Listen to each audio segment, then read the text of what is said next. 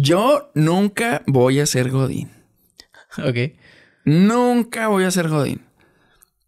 Y yo soy Godín por dos.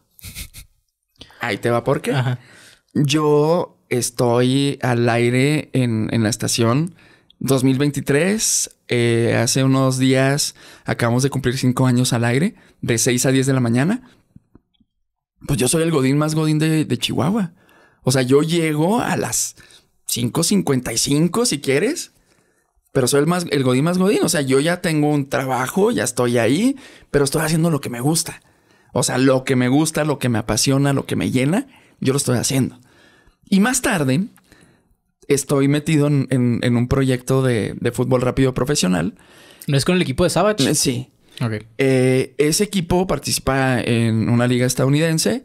Eh, tengo prácticamente desde el inicio del proyecto, ya cuando se, se formalizó para, para M1, pues ahí también, o sea, también es ser. O sea, a veces estoy en escritorio y, y estoy haciendo cosas, pero ahí te va. Para mí, el estar eh, en ese lugar, pues me, me ha enseñado también cosas que a lo mejor yo desconocía en su momento. eh, procedimientos eh, económicos, procedimientos legales, fundamentos de cosas. O sea que realmente si yo no, no, no hubiera estado ahí, y eso también es gracias a la pandemia, si yo no hubiera estado ahí, mm, yo no estuviera aprendiendo pues muchas cosas, o sea, de estructuras, de organigramas, de, o sea, muchas, muchas cosas que realmente, o sea, yo soy de los que tengo que estar ahí en el lugar aprendiendo las cosas y a mí se me quedan. Y, y es un aprendizaje constante, o sea, todos los días aprendes también algo nuevo. Entonces, mi plan obviamente pues sí es, ok, vo- voy sobre el camino, sobre algo que, que tengo en mi mente y sobre eso voy y ahí voy caminando y, y sí voy arrastrando mis dos godines y ahí voy, pero no pasa nada. O sea, digo, personas son diferentes, o sea, tú eres diferente a mí, eh, la persona que está viendo este video es diferente, tú también, tú también, o sea, todos somos diferentes. O sea, aquí lo, lo padre, pues es el, el saber cómo, cómo ir avanzando con, con los obstáculos que, que se están proponiendo, porque si no, nos quedamos estancados y, y ya valió. Y, y llegas a una zona de confort en la cual va a estar bien, bien complicado salir de ella. Y, o sea, tienen que llegar cosas externas a veces para, para picarte. Y, ah, ¿dónde estás? Y no esto. Y no, no, pues aquí estoy. No, órale, muévete, muévete. O sea, sigue avanzando, porque si no sigues avanzando, te vas a quedar estático y, y ahí te vas a Y ahí te quedar. vas, sí. ¿Viste la película de Soul? La de Soul, La la, de del- Disney. La de Disney. Sí la vi, la de las emociones, ¿verdad? Sí. Sí, sí, no, sí, no, sí. espérate, esa es la de. No, es otra entonces, ¿verdad? Sí, esa es la Ah, de- Ya, ya, ya. Es la de la del artista, ¿no? Sí. Ya, sí. La del músico. Ajá. La del pianista. Ajá. Sí, la del artista. No, no, no estaba Es que acá agarraste la guitarra. con- No estaba. No.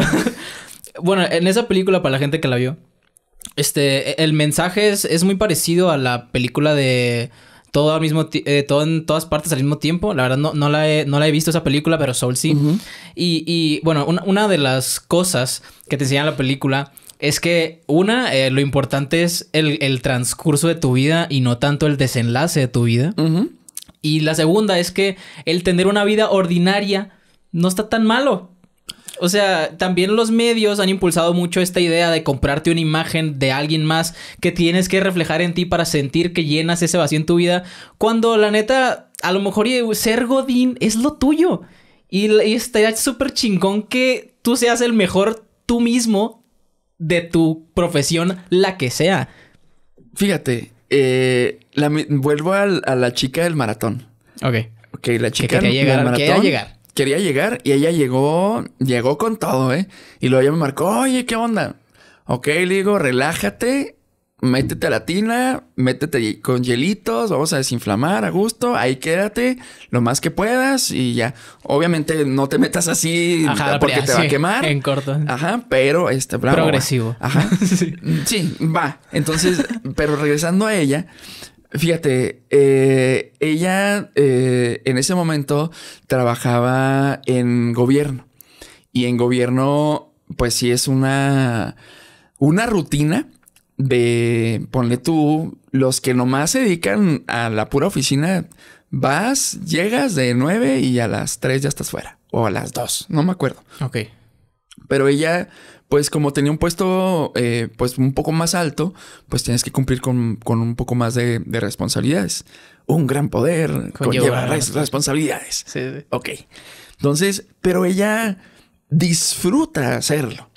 Ella le gusta ayudar a las personas, le gusta estar haciendo y así y todo. Entonces, yo siempre pongo ejemplo a ella, ahorita con el tema Godín, es exactamente eso.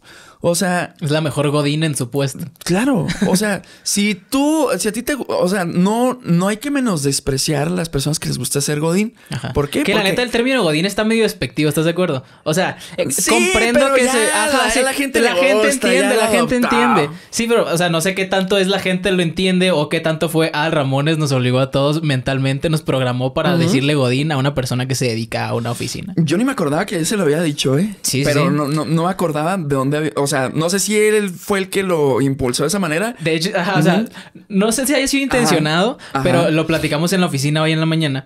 Y, y me pareció interesante el, el origen de la palabra. Godín. Y pues la- una de las teorías era que, ok, Godínez es a lo mejor un nombre muy común en Ciudad de México. Claro. Y pues Adal Ramones, al tener esta plataforma, pues eh, impulsó mucho el güey también, la palabra güey. Yo creo que él, la- él es el estandarte del güey. Sí. Y eh, pues le decía Godínez a toda la persona a la cual él se refería Sí. en el programa, independientemente si fuera el del audio, el del video, este, alguien que le iba a traer un trapito para limpiarse. O sea, él le- se refería a cualquier persona de la producción del programa como Godínez. Y yo creo que se quedó y ese, que ahorita ese ya lo adoptamos Ajá, en que como- son los de oficina que están, Ajá. están ahí como pues amargados de la vida. Que no son sus propios jefes, dirían algunos. Pues sí, pero es tu trabajo. O sea, de ahí comes.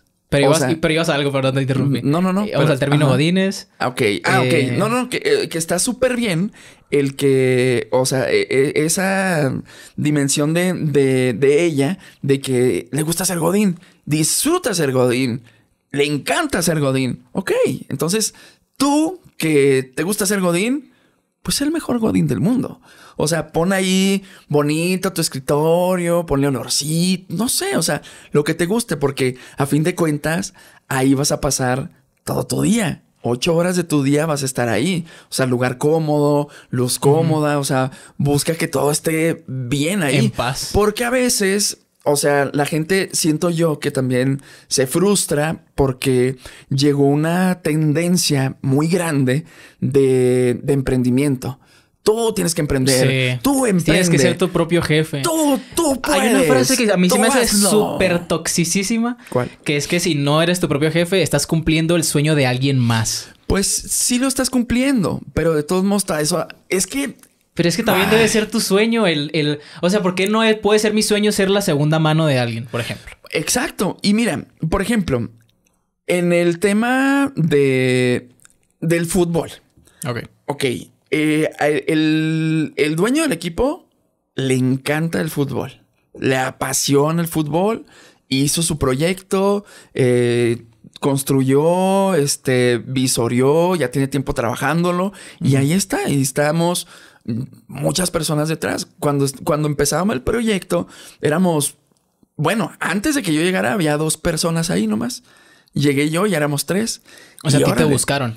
Eh, no, ahí el tema pandemia me obligó a buscar algo alternativo, extra. algo Ok. extra. Entonces, afortunadamente llegué a un lugar en donde pues todo fue cómodo, haciendo lo que me gusta, conduciendo eventos. Le veías una visión, Eh, le veías una y profesionalidad. le veía un futuro. Y el futuro ya llegó. Y el futuro nos está ahorita presionando a... O sea, la marca se está exponenciando muy, muy, muy fuerte.